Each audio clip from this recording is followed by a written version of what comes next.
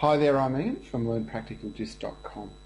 In previous videos, I've talked to you about where you might get uh, GIS data from, off the shelf, from satellite imagery, um, you know, from paper maps, from your own maps, and so forth.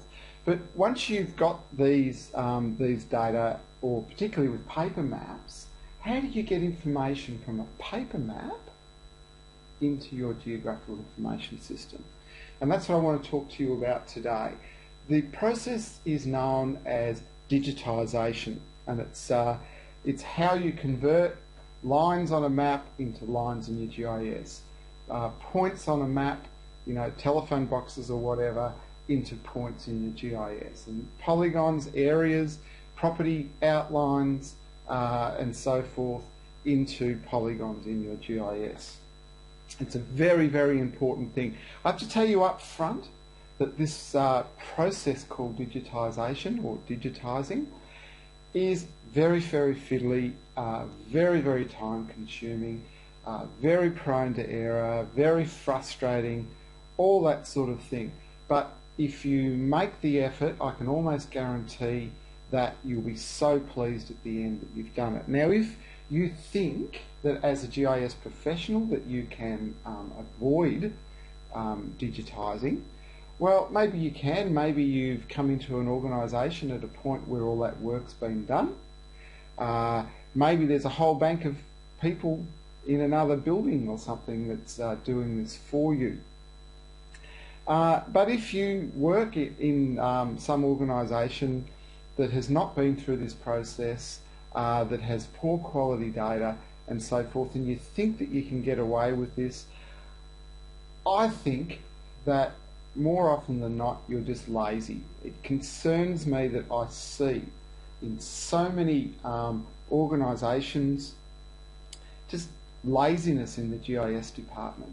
Um, they're, they're so consumed with the technology that they're, um, that they avoid putting the, um, the mapping into their system. And it's the mapping that's the foundation of any GIS. And I see projects that really just fail because the GIS department fails to put in appropriate uh, quality data. But once, if you go to that effort of putting your own information in, you'll just be amazed at, uh, at how much better the outcomes in. Okay, so we're talking about your putting your own mapping in. Now, there's two broad um, ways that you can get information in. They're both known as digitising. One is using a digitising tablet, and the other is uh, using a scanner and scanning your map and bringing your map in. Now, I think in this video I'll just talk about um, using the digitising tablet. So, um, a digitising tablet, there's one of them on screen at the moment. Basically, it has, it, it's a large, um, uh, very highly engineered um, piece of, of, kit that has a series of very, very dense series of, of wires uh, running through it. And it has um, a, a mouse-like thing called a puck. And the puck has a, a magnifying lens in it and um, and a crosshair on it. And you can very finely you run over the features on your map. Or first of all, you stick the map to the um, to the digitizer, and you run over the map with your puck going click click click, and um, the the data comes in to your GIS. Now back to me. Imagine that this map here is a map that we're inputting. What you would do is first of all you would probably turn it up the right way. You stick, and I'm just going to use uh, magnets for the moment. You stick it as near as square as you possibly can and you use, excuse me, where did I put it? Doesn't matter. Yes, it does.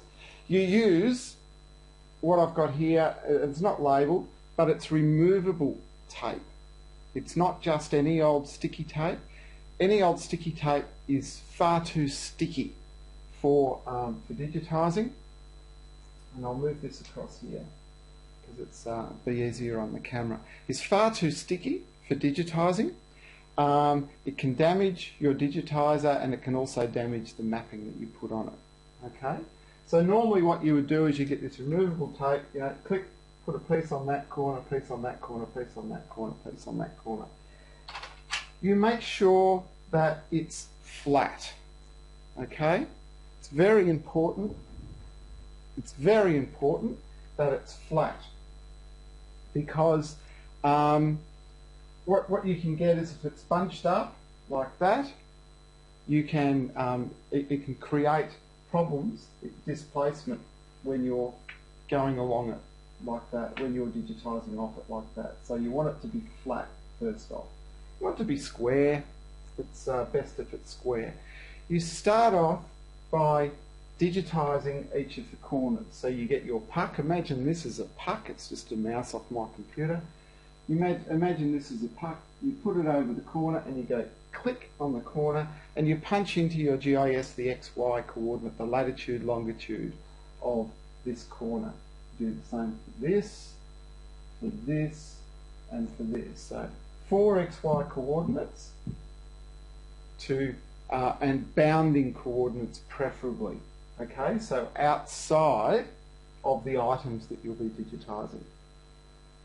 Okay, so if we if I was to digitise this map, I'd digitise those four points, put in the XY coordinates, and then I'd come along and I'd go click for the boundary, click, I'd define that I'm going to digitise a line. You have to define that you're digitising a line, and you go click, click. In fact, I'll zoom in, maybe. Me zoom in a bit closer. Uh, and I'll go click, click, click, click, click, click, click, click, etc. until I um, go right, was to go right around this. And in fact, yeah, um, well, I could in some GISs or some digitising programs define it as being a polygon. But that's neither here nor there for the minute. Okay, and then if I was to digitise this, I'd go click, click, click, click, click, click, click, click, click, click, click, click, click, click, click, click, click, and probably finish just there. Okay, um, and continue along that um, until I've com completed the whole map. Like I say, it is a very, very um, tricky and laborious, labour intensive process, one that um, people don't generally like doing, but is so, so worth the effort of, of doing if you do it, if you decide to do it. This map here, for example, here's, here's a map if um, that I produced recently for a project, and, and the map is actually it's an ease of digging mapping uh, map for a water utility that was um, that was putting in a sewer into an area. And I worked, um, teamed up with a um, what we call a, a geomorphologist and soil scientist. And what we did is we interpreted areas where we would find um, three classes basically. There's we had six classes here, but the final map ended up with three classes, basically very rocky, moderately rocky, and um, and deep soil. And that helped the water utility understand the sorts of problems that they were going to come across um, if they were to um, bring their backhoes into this area. Now, the reason that we went out in the field and created this map is because this map didn't exist. The only soil mapping um, over this area had all this area here as one shade, okay, as one soil type.